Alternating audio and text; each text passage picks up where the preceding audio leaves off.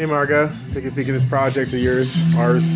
Um, finishing building the box right now. I've got plans to meet with Jen tomorrow night or tomorrow evening. She approximates from the pictures and videos and everything I've sent her, sent to her. Excuse me. Um, that it should take less than a day to do the do the upholstery and everything. Here's all your supports and everything, cut and prep to size, and that's your legs right there. Um, everything is turning along really well.